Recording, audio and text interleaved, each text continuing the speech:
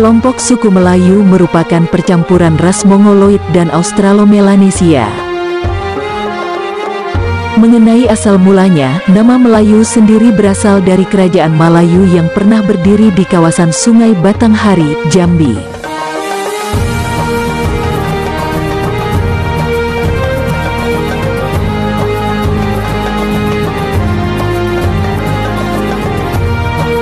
Namun, akhirnya kerajaan tersebut harus takluk di bawah kekuasaan Sriwijaya.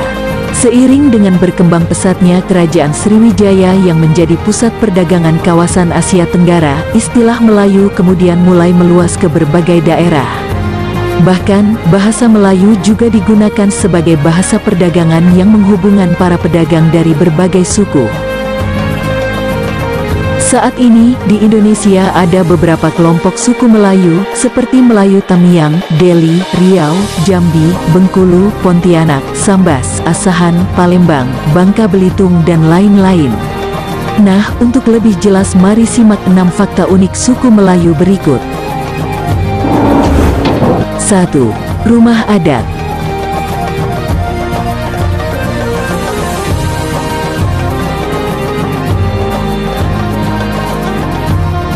Rumah suku Melayu pada umumnya memiliki ciri khas berdiri di atas tiang-tiang yang tinggi.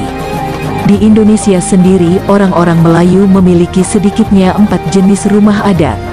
Pertama, yaitu rumah Melayu atap lontik yang sering juga disebut pencalang atau rumah lancang.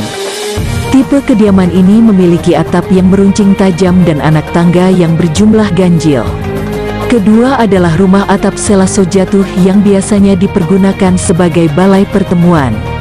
Ketiga, rumah Melayu atap lima sepotong yang terdiri dari lima bagian, yaitu teras, ruang depan, ruang tengah, ruang belakang, dan dapur.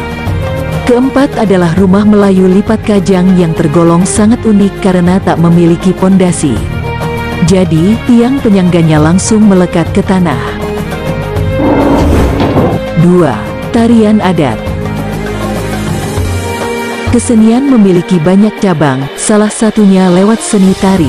Suku Melayu sendiri memiliki banyak tarian adat yang masing-masing syarat akan makna. Pertama, tari ulek mayang yang mengisahkan legenda pertarungan seorang dukun dengan roh putri laut. Kedua adalah tari inang, versi modern dari tari mak inang yang sering dijadikan hiburan dalam acara pesta. Ketiga, tari zapin yang dipercaya berasal dari wilayah Arab. Keempat, tari makyong yang biasanya ditampilkan setelah musim panen padi. Kelima adalah tari gayong otar, jenis tari kepahlawanan yang hanya dilakukan para pria. Lalu yang keenam, yaitu tari joget lambak yang diiringi alat musik gendang, tetawak, dan gong. 3.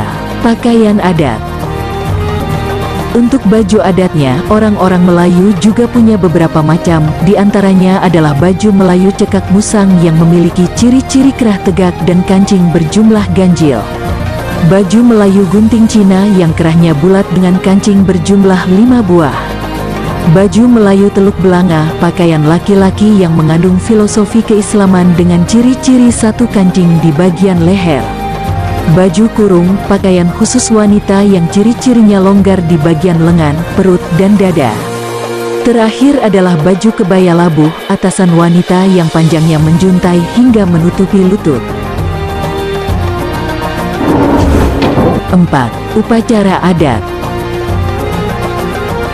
ada banyak sekali upacara adat khas suku Melayu. Pertama, yaitu tepung tawar yang menjadi simbol untuk mendoakan seseorang yang telah berhasil mencapai sesuatu. Kedua adalah batobo, kegiatan bergotong royong yang diiringi permainan alat musik tradisional. Ketiga, yaitu menetau tanah yang merupakan upacara untuk membuka lahan pertanian atau bangunan agar tanah yang akan digunakan berkah, dan masih banyak lagi upacara-upacara lainnya. 5. Alat musik Ada beberapa alat musik khas Melayu yang umumnya digunakan untuk mengiringi tarian atau upacara adat. Beberapa di antaranya yaitu kompang, darbuka, bebano, dan gambus.